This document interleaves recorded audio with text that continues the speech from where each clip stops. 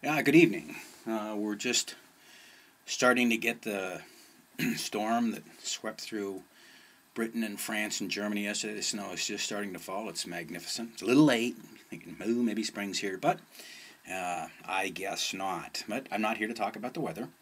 Uh, I just talked to my sister, who is uh, has been for gee, I don't know how many years, uh, involved in A Course in Miracles my Aunt Lynn Mahaffey, who I've talked about, who was mentioned in a book about Lily Dale. In fact, the book was called Lily Dale. uh, has been out in kind of the alternative spiritual world uh, for years. Uh, well, not anymore. She's not here anymore. She's dead. Uh, but she bought us all a Course in Miracles book. I've got mine here somewhere. There it is.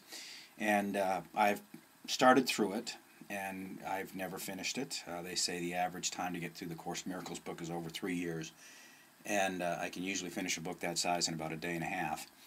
But uh, my sister is doing courses in the principles of A Course in Miracle, and the the uh, the teacher for her is a gal called Nook who has a different slant on the course. But the course design, I, I think, I believe, is, is to time, get you out into those higher states of awareness, which are fragile, which, uh, and she said last year, or last week, she was going, she'd gone through some things, and we went through them, and uh, she said, I'm having what the core, I'm, I'm, what I'm experiencing is what the course called happy days.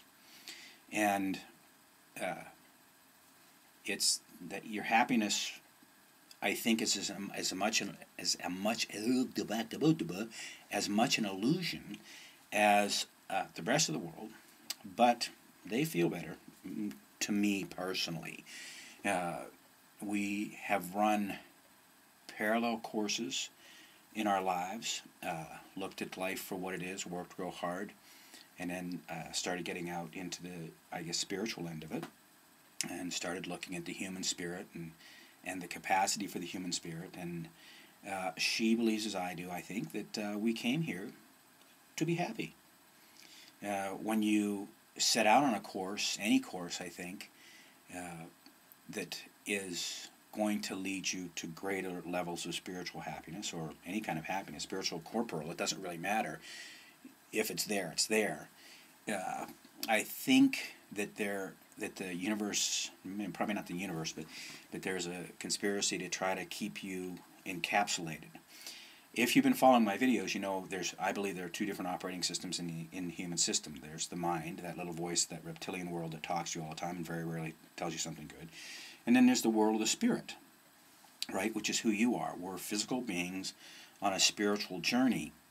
And the Course in Miracles uh, gives you practical steps on how to get to the spirit, how to get to basically you. This meat body uh, is who you've come in to experience this with.